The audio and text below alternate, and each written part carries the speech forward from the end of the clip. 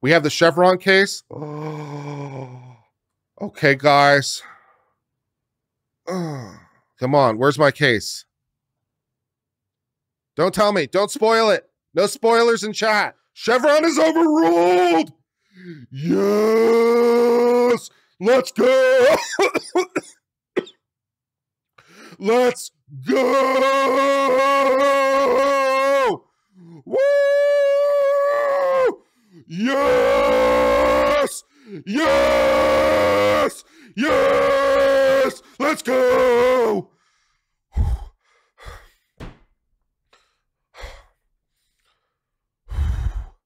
Woo! Woo! Woo! We are the champions, my friends. Bum, ba. We'll keep on fighting to the end. Bum, ba, ba, ba. We are the champions. We are the champions. No time for losers. We are the champions of the world. Woo!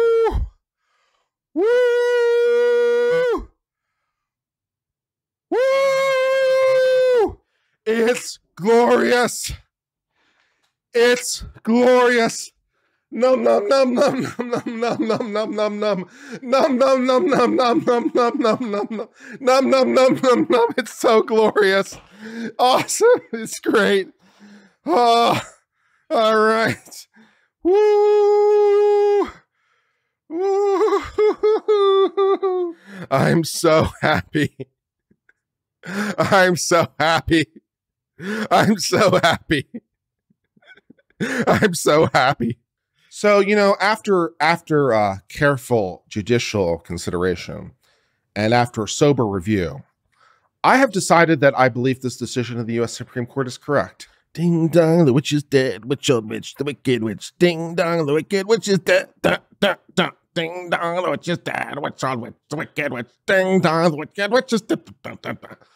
To summarize that for non-lawyer speak, I, I will now I will now explain it for the non-lawyers in the audience. Okay.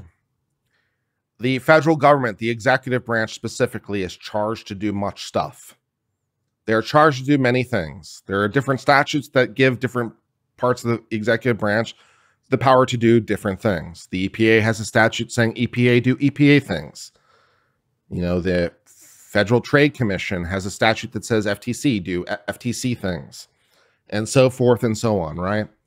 So the there are statutes giving these various agencies the power to do the things that agencies decided to do. Okay.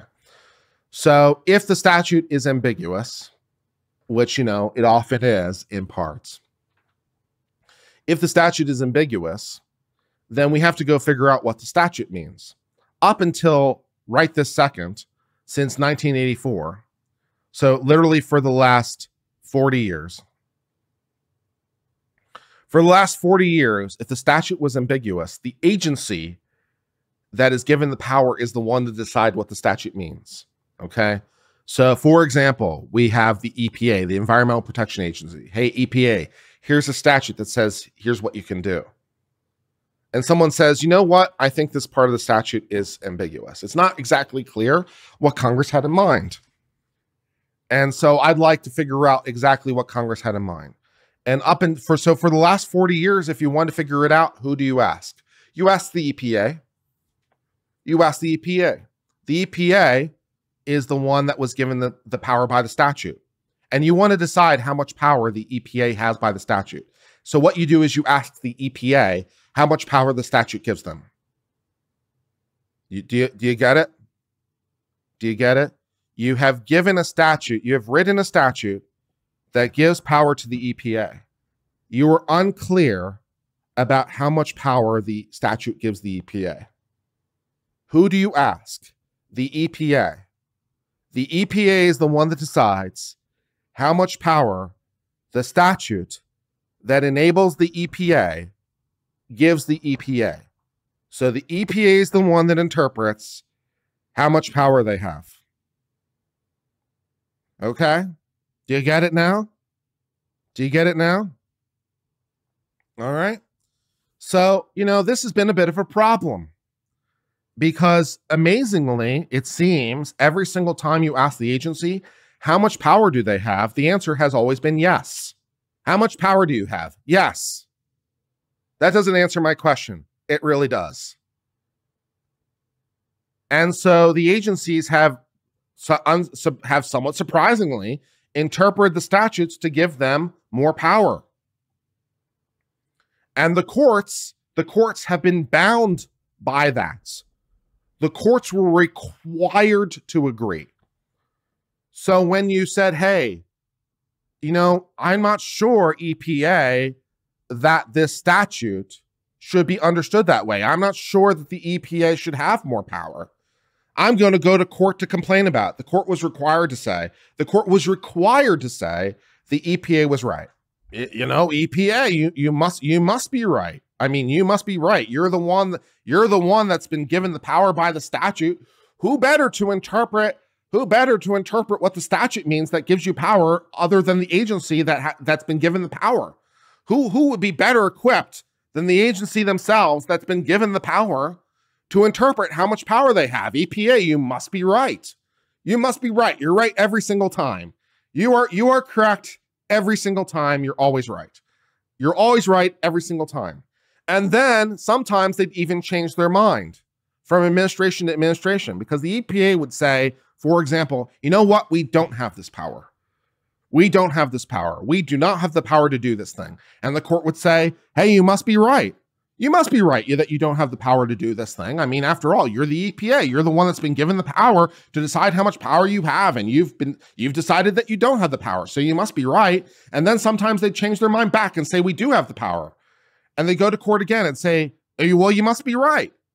And it's like, wait a second, court. They said literally the opposite thing four years ago. And you said that they were right then when they said literally exactly the opposite. Yeah, they were right because that's what they said then.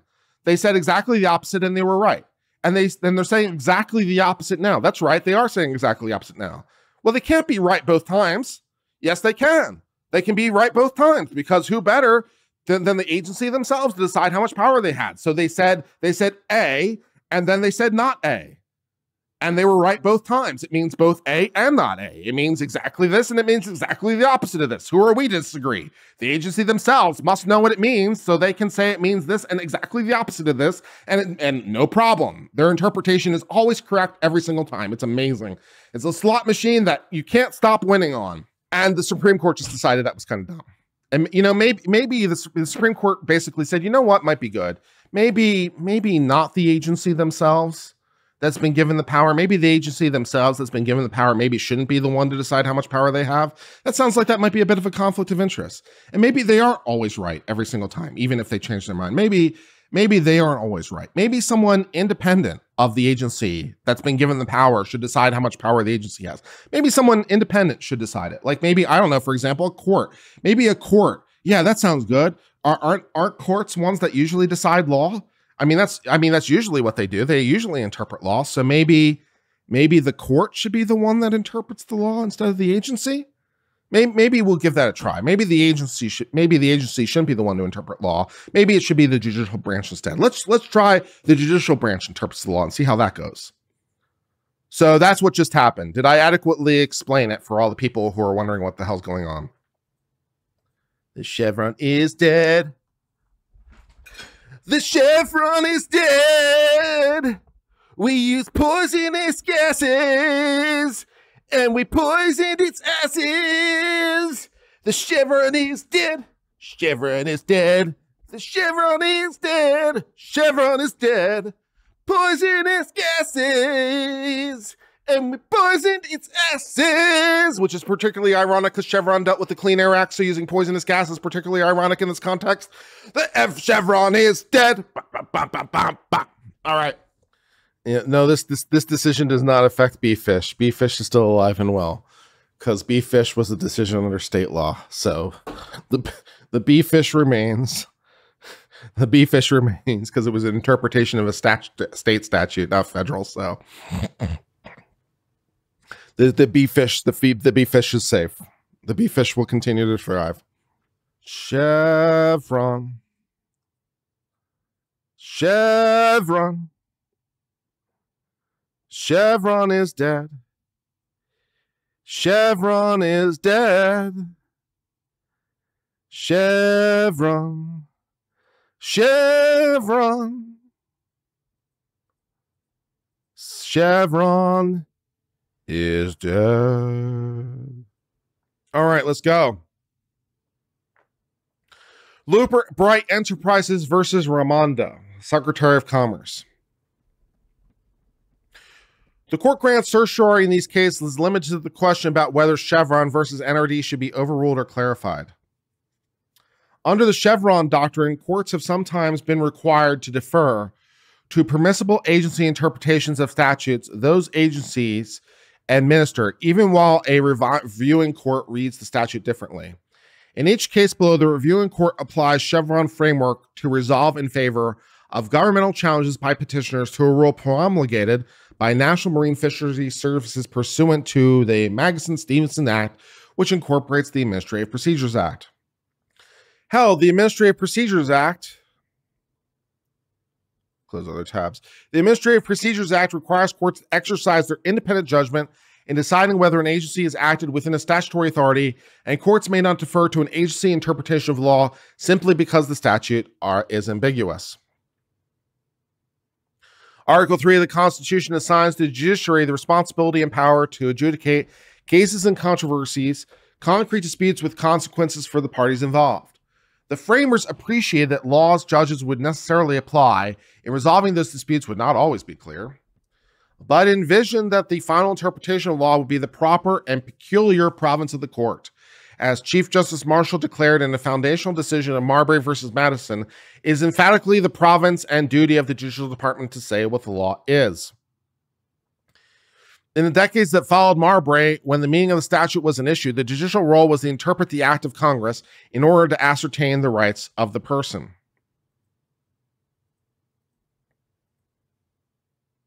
The court recognized from the outset, though, that the exercising independent judgment often included according due respect to the executive branch's interpretation. Such respect was thought especially warranted when the executive branch's interpretation was issued roughly contemporaneously with enactment of the statute and remained consistent over time, which kind of makes sense because if the executive, for example, the president, is giving a signing statement, it at least gives some clue as to what he thought he was signing. So it might be some sort of indicia that might provide some sort of understanding as to what was going on. The court also gave most respectful consideration to court executive branch interpretations, simply because the officers, officers were concerned were usually able men and masters of the subject who may have well drafted the law. Respect, though, was just that. The views of the executive branch could inform the judgment of the judiciary, but it did not supersede it. The, in cases where a court's own judgment differed from that of other high functionaries, the court was not at liberty to surrender or waive it. The Supreme Court decided Chevron in the first place in 1984. During the rapid expansion of the administrative process that took place during the New Deal era, the court often treated administration determinations of fact as binding on the court, provided there was evidence to support the finding. But the court did not extend similar deference to agency reasonings of questions of law. The interpretation of the meaning of the statute as applied to judicial controversies remained exclusively judicial. In other words, if you're not sure what the law means, go ask the people that decide what law means, in other words, the courts. The court also continued to note that the informed judgment of the executive branch could be entitled to great weight. The weight of such judgment in a particular case, the court observed, would depend upon the thoroughness of the evidence and consideration, the validity of reasoning, it's consistent with earlier and later pronouncements and all those factors which give power to persuade if lacking power to control, which makes sense. That is far, far, far enough as it goes. To the ability, it has the ability to persuade. It has the ability to persuade. That's that's fair enough as far as it goes. Occasionally during this period, the court applied deferential review after concluding a particular statute empowered an agency to decide how broad the statutory term applied to specific founds found by the agency. So the agency got to decide how much power it had.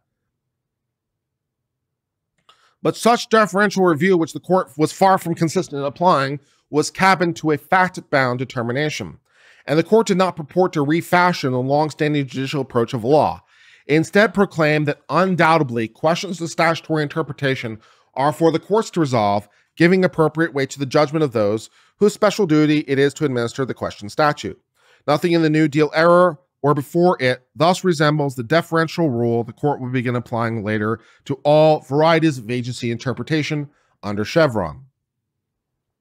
Congress enacted in 1946 enacted the APA as a check upon the administration, whose zeal might have carried others of them to excess not contemplated in legislative created of the office.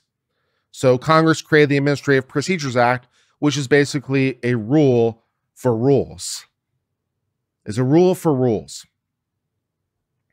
The Administrative Procedures Act says, hey, all agencies, here's how you create rules. Here's the process to create rules. Here's the process to go about doing that. And here's also how the rules that you create should be understood. So it's a rule for rules. And it was created by Congress. So fine. It is now a master template. Here's how you create a rule. Here's how you amend a rule. Here's how rules should be understood and interpreted. Cool. Fine. The Administrative Procedure Act prescribes procedure for agency action, which also, by the way, doesn't merely limit to rules. It, it also extends to basically anything the agency does. So not just rules, but just any agency action that has external impact. So if an agency is doing something purely internally, probably not the APA. But if the APA is doing something externally, in other words, they're trying to do something to you or something that impacts you, then probably the APA does apply, whether that's a creation of a rule or application of a rule or whatever. The APA says how to understand whether or not they're doing something that's lawful. And it covers all agencies, except, of course, we're specifically excluded. But, you know, every agency that's likely to have impact on your life through rulemaking, as opposed to law enforcement authority in particular. Okay. And it codifies for the agency the case that unremarkable yet elemental proposition reflected by judicial practice dating back to Marbury. Courts decide legal questions by applying their own judgment. As relevant here, the Administrative Procedure Act specifies that courts, not agencies, will decide all relevant questions of law arising on review of agency action, even those involving ambiguous law, because that's what courts do. It prescribes no deferential standard for courts to employ in answering these legal questions, despite mandating deferential judicial review of the policymaking and fact finding. So the agency gets to decide, well, deference at least. They get deference as to the facts, they get deference as to understanding of the facts, and they get deference as to their decisions about what to do about things. But as to their underlying power, not so much. Yeah, the decision about January 6th has also been decided. That's that's that's interesting. But I'm talking about the really interesting case, Chevron. So that's what we're doing now. That that Jan 6 case is kind of interesting, but it's but Chevron was decided. So we're we're doing that. Um Directing courses to interpreting constitutional and statutory provisions without deference to the two, it makes clear that agencies' interpretation, like agencies' interpretation of the Constitution, are not entitled to deference. They don't get the deference to decide what the law means. The APA's history and contemporaneous views of various respected commentaries underscore the plain meaning of the text. Courts exercise independent judgment in determining the meaning of statutory provisions consistent with the Administrative Procedures Act, may as they have from this heart, seek aid of those interpretation so the agencies might have some insight on what they mean. They can provide their thoughts on the subject. That's that's fine. They have the experience and knowledge and stuff, so they can offer a lot of thoughts about what they think the statute means. That's that's fine. And when the best reading of a statute is that it delegates discretionary authority, the role of the reviewing court under the APA is to independently interpret the statute and effectuate the role the will of Congress. So if it gives deference to the agency, that's what Congress intended. That's fine.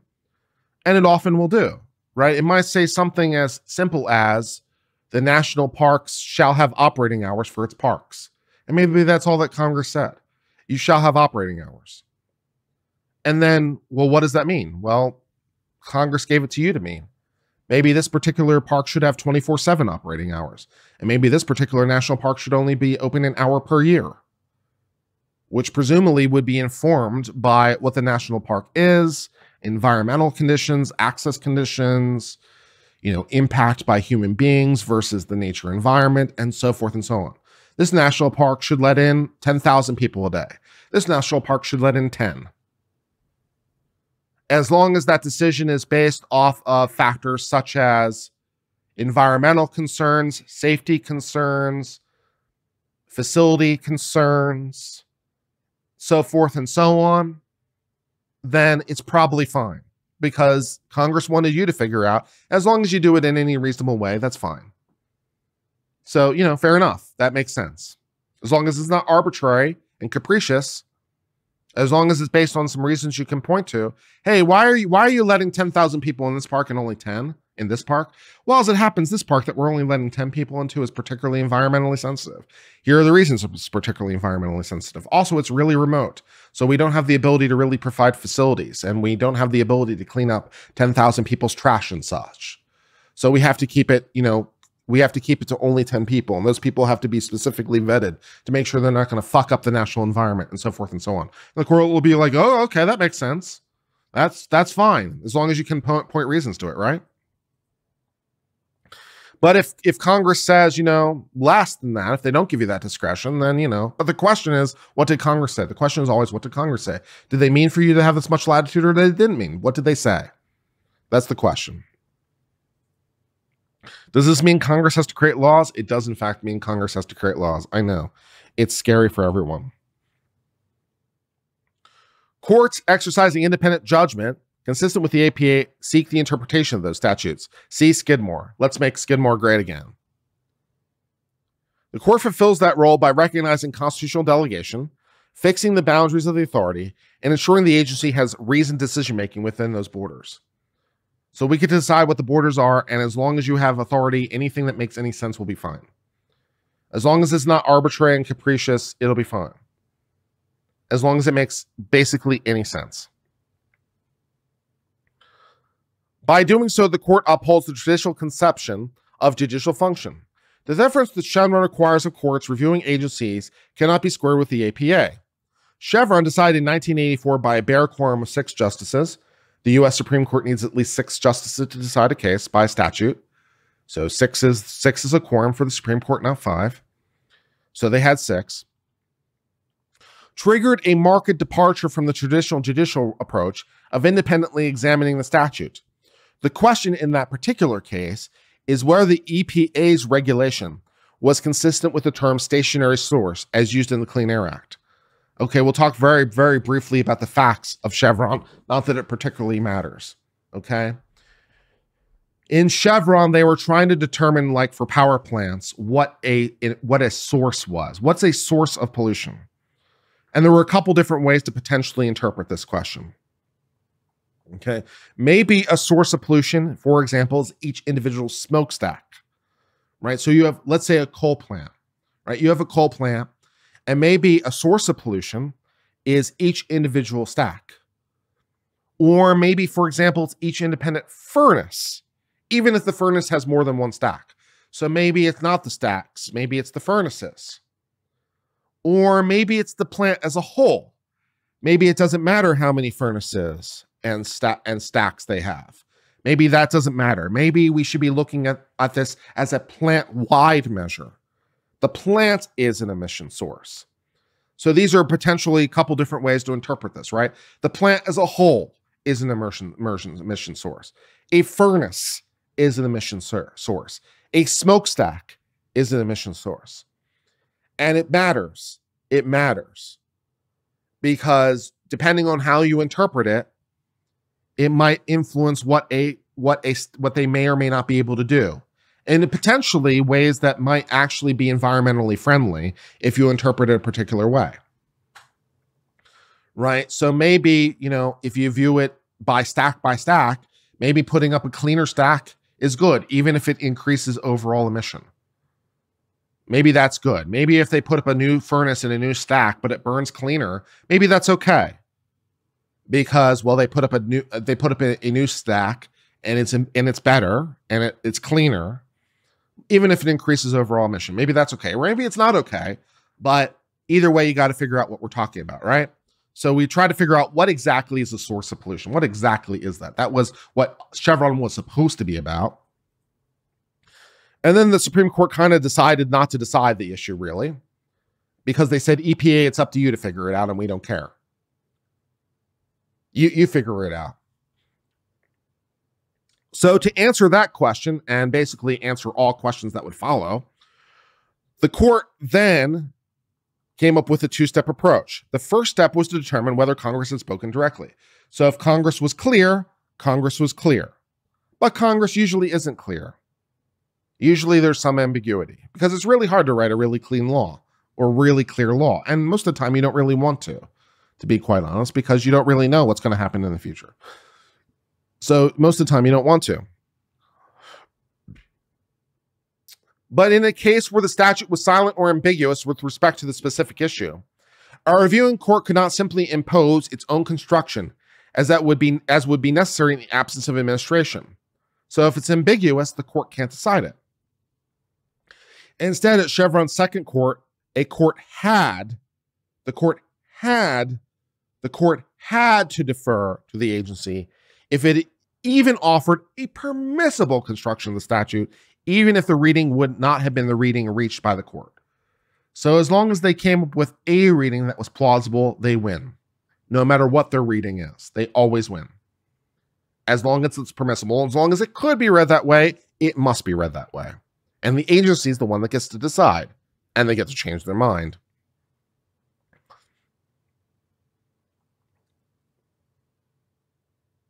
All right. So, employing this test, the court concluded that Congress had not addressed the question, which is fair enough. They had not. I will agree. This, the term is ambiguous. So, yes, what exactly is a, an emission source? What exactly is a stationary source? What exactly is that? I will agree that it was unclear. Having decided it was unclear, they're like, the EPA can win. The EPA wins. Whatever they think works for us. We don't care. EPA, your interpretation is good enough. It's fine. All right. Although the court did not first treat Chevron as the watershed it was fated to become, the court and the Court of Appeals were soon routinely involving the framework as the governing standard in cases involving statutory question of all agency authority. So all agency authority should be understood this way. The court eventually decided that Chevron rested on a presumption that Congress, when it left an ambiguity in a statute meant for implementation by the agency, understood the ambiguity would be resolved by the agency and desired that the agency decide it. Okay? So the court said, okay, if it's ambiguous, what Congress wants is the agency to decide the ambiguity. And, you know, what is the agency going to decide? Well, whatever's convenient for them in any given moment. You know, that's what they're going to decide. Sounds okay to us. No problem. The the agency, the agency, the the, the who decides who decides what the governing standard is? The person that's governed by the governing standard. They decide what the governing standard is. So you've you've given them the authority to decide how much authority they have. Wow, I don't see any problem with that.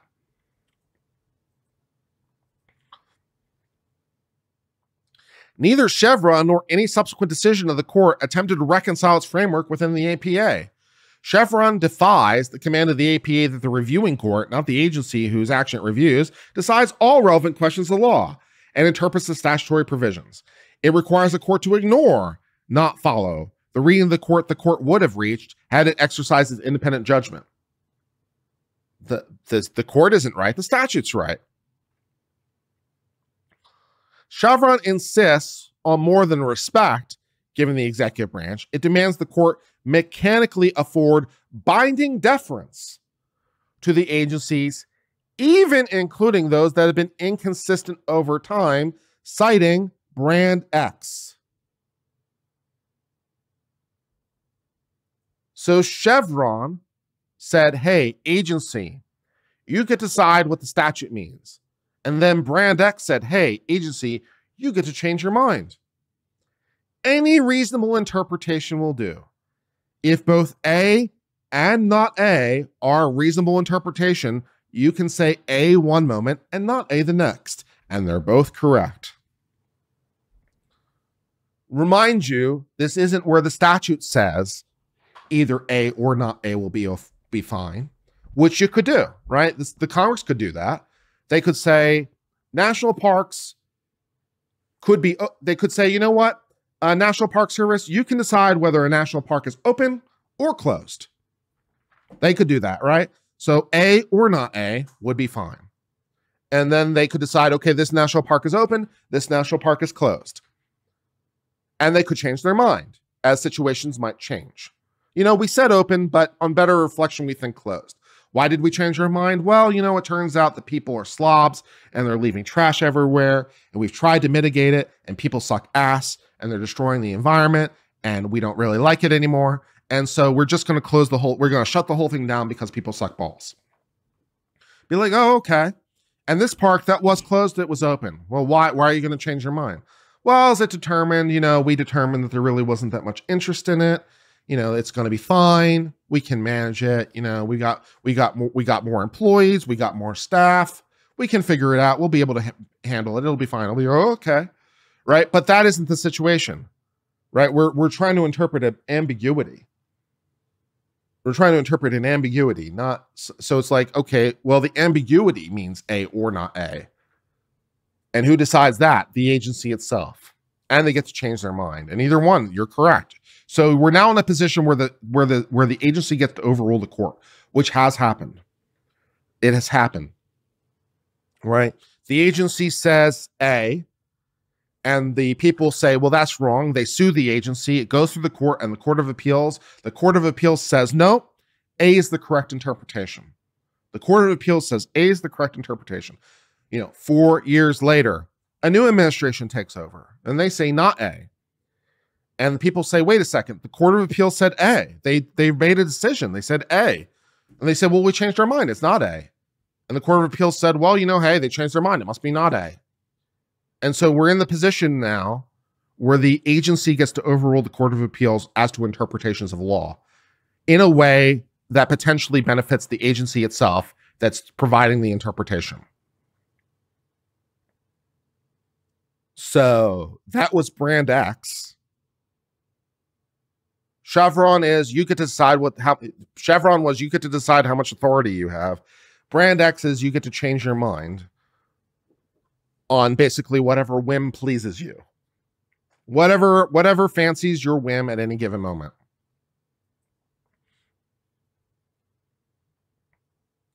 So that regime is the antithesis of the time honored approach. The APA says, yeah, the APA says courts, you should decide. And Chevron says, not only does agency get to decide, they also get to overrule law. They get to decide law and they get to overrule law. They're both they're both the court and the Court of Appeals and the US Supreme Court all rolled up into one. And no one has a problem with this. Apparently. Chevron cannot be reconciled with the Administrative Procedures Act by presuming statutory ambig- ambiguities are implicit delegations. Yeah, that's that's a hell of an assumption. If it's ambiguous, it must implicit means required right? To say something's implicit is to say it's logically necessary. It's implied, is implicit. So if it's ambiguous, it must mean the agency is to decide the issue. N- no. No. I agree it could be. Maybe the correct interpretation is this is meant to give the agency deference. Maybe maybe the correct inter I'm not beyond saying the correct interpretation is the agency should have the flexibility. That might be the correct interpretation of the ambiguity. It could be true. But to say it must be true? Nope. That's some bullshit. A ambiguity does not necessarily reflect the congressional intent that the agency, as opposed to courts, must resolve the interpretation question. Who gets to decide what the law means after all? Isn't that sort of what the judicial branch is supposed to do? And you know what happens if the judicial branch gets it wrong? Even the Supreme Court, even if it's the Supreme Court, you know what happens if the Supreme Court makes a decision 9 0 and says the statute means X? You know what happens next or could happen next? 9 0, the Supreme Court says the statute means X. Well, what could happen next? Congress could be like, no, that's some bullshit. It means Y, you idiots. Because Congress writes statutes. Geez, Supreme Court, that was a really dumb way to interpret our statute. Don't know what the fuck you were reading. But, you know, let's help you out, you stupid idiots let's clarify this because you know you're about you're a bunch of dum dums and don't understand what we wrote. So we're gonna fix it so you understand, so you won't be so stupid next time. Yes, Congress can overrule the Supreme Court on statutory interpretation. That's what's supposed to happen. So Congress can overrule the Supreme Court. No problem. Just pass a new statute.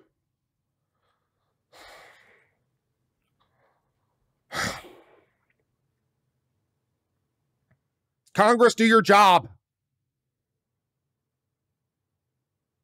Many or perhaps most ambiguities may be unintentional. And when courts confront ambiguities in cases that do not involve discretion, they are not somehow relieved of their obligation to independently interpret. Instead of declaring a party's reading permissible, courts should use every tool at their disposal to determine the best reading. Well, that sounds fun. Why don't we just use the statutory interpretation tools, which incidentally are the exact same tools as far as I'm considered, as far as if you ask me, the statutory interpretation tools are the exact same tools you'd use if you're trying to determine what a regulation means or the Constitution means. Right? They're the exact same tools. We have these tools, we've had them forever. They're great tools. Let's use the tools. Let's make the tools great again. And we can properly understand what the Constitution slash statute slash reg- regulation means. They're there for a reason. They've, they've been around for common law because they work. Let's go do that. And if we're wrong, there's a way to fix it. Congress, do your job.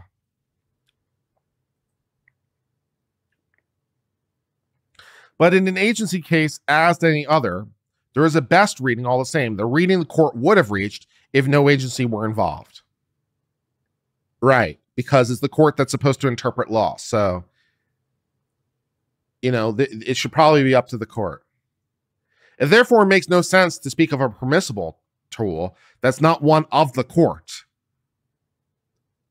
Yeah. Perhaps most fundamentally, Chevron's presumption is misguided because agencies have no special competence in resolving statutory ambiguities. If you're trying to figure out what the law means, they're, they're not particularly well equipped to figure that out. Courts do that. That's what courts are for. That's why they were invented. The framers anticipated that courts would often confront statutory ambiguities and expect courts would resolve them by exercising independent legal judgment. Chevron gravely erred, spicy language, gravely erred, spicy language, in concluding the inquiry is fundamentally different just because the administrative issue interpretation is at play. Chevron is dead, let's bury it deep. The very point of the traditional tools of statutory construction is to resolve the statutory ambiguity. That is no less true when the ambiguity is about the scope of the agency's own power, perhaps the occasion on which abdication in favor of the agency is least appropriate. This sentence, this sentence is the ball game, basically. It is not less true that the courts should decide this when the issue is how much power the agency has. In fact, it's kind of more true. It's not less true that courts should decide it if the issue is how much power should the agency have. It's more true. Yeah. The government responds that Congress must generally intend for agencies to resolve statutory ambiguities because agencies have subject matter expertise regarding the statutes they administer. Insofar as that's true, that's true. They do have subject matter expertise. That's true. Because deferring to agencies purportedly promotes uniform construction of federal law, and because resolving statutory ambiguities can involve policymaking best left to political actors rather than the court. but none of these considerations justifies Chevron's sweeping presumption of intent. As the court recently noted, interpretive issues arising in connection with a regulatory scheme may fall more naturally into a judge's bailiwick than an agency's.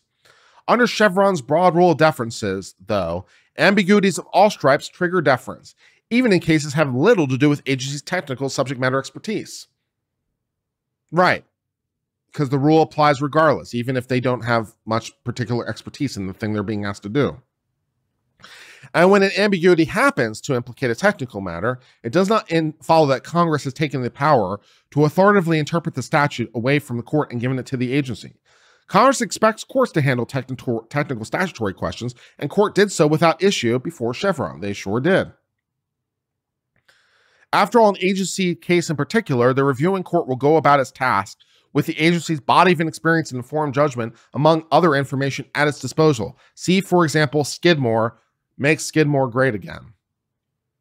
An agency's interpretation of a statute cannot bind a court, but may be especially informative to the extent it relies on a factual premise within the agency. Delegating ultimate interpretive authority to the agency is simply not necessary to ensure the resolution of ambiguities well informed by subject matter expertise. Nor does the desire for uniform construction of federal law justify Chevron. It's unclear how much the Chevron doctrine as a whole actually promotes such uniformity, and in any event, we see no reason to presume that Congress performs uniformity for uniformity's sake over the correct interpretation of law. Facts.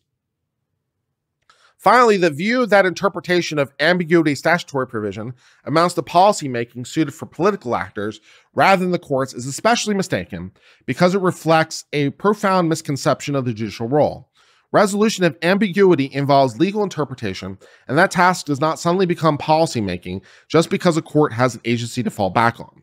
Courts interpret statutes no matter the context based on traditional tools of construction, not individual policy preferences. Preach.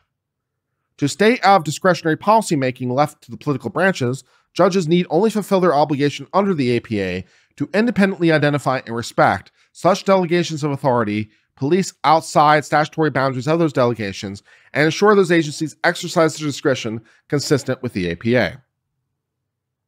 By forcing courts to instead pretend ambiguities are necessarily a delegation, Chevron prevents judges from judging because it certainly does. Because Chevron's justifying presumption is, as members of the court have recognized, a fiction, the court has spent the better part of four decades imposing one limitation on Chevron after another.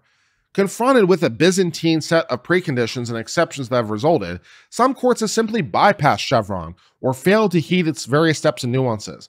The court, for its part, has not deferred to an agency interpretation under Chevron since 2016.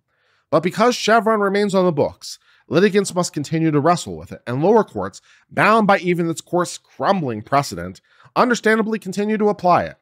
At best, Chevron has become a distraction from the question that matters. Does the statute authorize the challenge agency action? And at worst, it requires courts to violate the Administrative Procedure Act by yielding to the agency the express responsibility vested in the reviewing court to decide all relevant questions of law. Maybe the court should decide it, not so much the agency. Stare decisis that the doctrine governing judicial adherence to precedent does not require the court to persist in the Chevron project. The stare decisis consideration most relevant here, the quality of the precedent's reasoning, the workability of the rule it established, and reliance, reliance on the decision. Citing Knick versus Township, quoting Janus, and you could also cite O'Connor's decision in um, Casey versus Planned Parenthood for this exact same sort of proposition. Chevron has reproved all fundamental to prove to be fundamentally misguided. It reshaped judicial review of the agency without grip, grappling the APA, the statute that lays out the review works. As flaws were apparent from the start, prompting the court to revise its foundations and continuing limit application. Experience has shown Chevron is unworkable. The defining feature of its framework is identification of statutory ambiguity, but the concept of ambiguity has evaded definition. So it's ambiguous what's ambiguous. Such an imp- since an impressionate and malleable concept cannot stand as an everyday test for allocating interpretive authority between courts and agencies. The court has also been forced to clarify the doctrines again and again, only adding to Chevron's unworkability, and the doctrine continues to spawn different threshold questions that promise to further complicate the inquiry should Chevron be retained. And its continuing import is far from clear, as courts have often declined to engage with the doctrine, saying it makes no difference. Nor has Chevron fostered meaningful reliance. Given the court's constant tinkering with and eventually turning away from Chevron, it's hard to see how any particular reason expect a court could rely on Chevron in a particular case or expect it to produce a readily foreseeable outcome. And rather than safeguarding reliance interests, Chevron affirmatively destroys them by allowing agencies to change course even when Congress has given them no power to do so. The only way to ensure the law will not meaningfully change erratically, but will develop in a principled and intelligent fashion, is for the court to leave Chevron behind. By overruling Chevron, though, the court does not call into question prior cases that relied on Chevron's framework.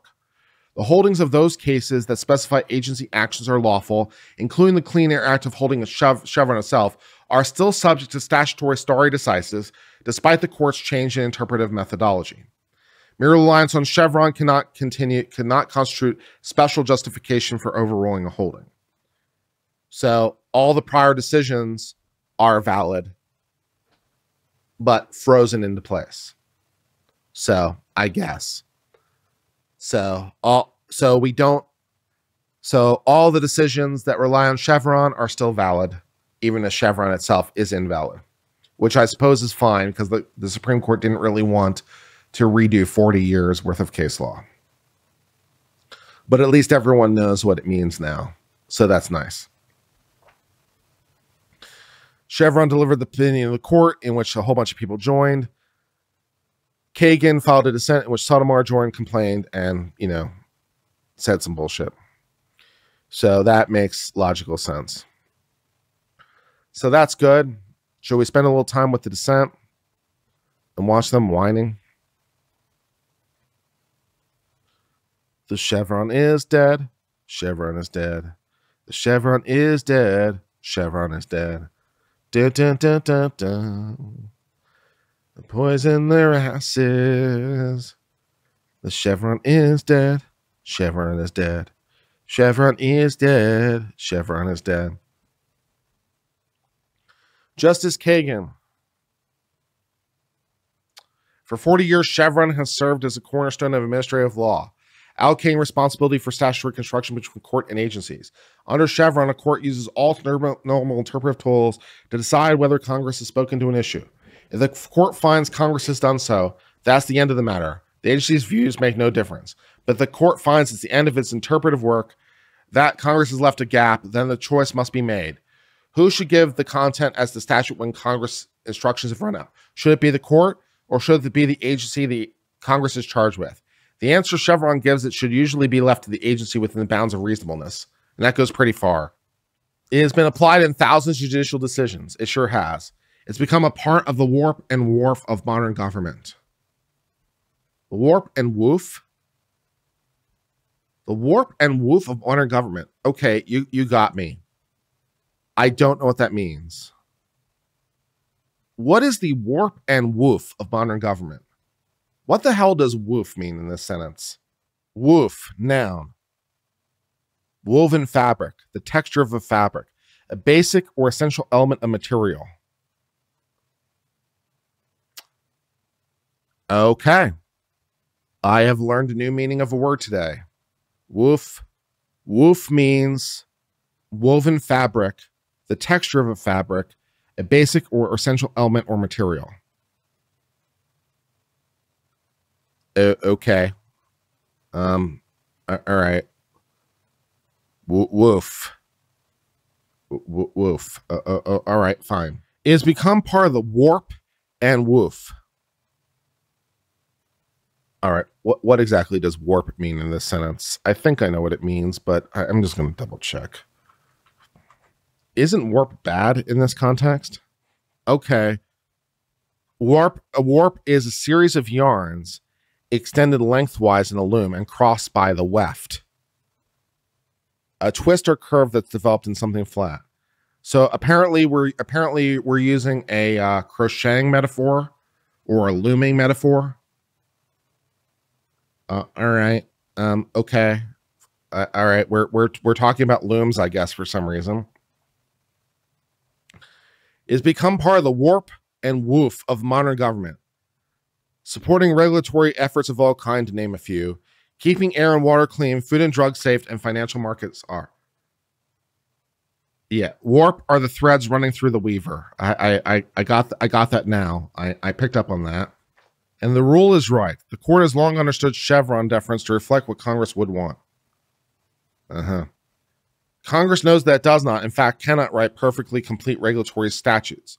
It knows those statutes will invariably contain ambiguities that some other actor will have to resolve and gaps some other actor will have to fill. And it will usually prefer that actor to be the responsible agency, not the court. Well, that's not what the APA seems to say. Some interpretive issues arising of the regulatory context involve scientific or technical matters. So dogs, so dogs are talking about weaving. I didn't know that dogs were looming experts, but okay. Maybe I could ask Chloe about the finer points of looming and weaving and crochet and such. Agencies have experts in these areas, courts do not. Some demand a detailed understanding of complex, indeterminate regulatory programs. Agencies know these programs inside and out, courts do not. And some present policy choices, including trade offs between competing goods. Agencies report to a president, who in turn answers the public for his policy calls. Courts have no such accountability and no proper basis for making policy. They're not. They're interpreting law. And if you don't like it, talk to Congress. Today, the court flips the scripts. Is now the court rather than the agency that wield the power when Congress is left an area of interpretive discretion. Sounds like what courts are supposed to do. A real judicial humility gives way to a real judicial hubris. In recent years, this court has too often taken itself for a decision maker. The court has substituted its own judgment for that of OSHA, Really? We're going back to the vaccine? Its own judgment of student loans.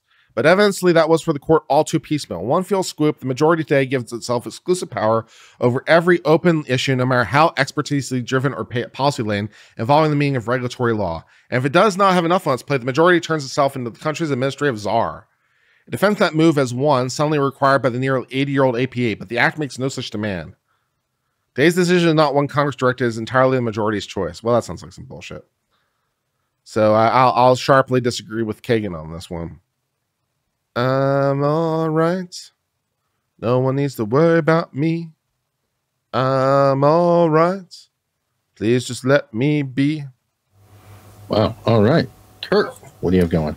Yeah, I'll be doing verdict watch for Karen Read, and then I think after that I'm going to print out the entirety of the uh, new Chevron decision and possibly get myself an inflatable pool of some kind and do an uh, do a hot tub stream stream swimming in the waters of the Chevron decision as I slowly bathe myself with a ladle with the pages of the decision.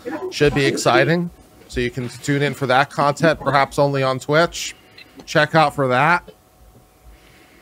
All right. Well,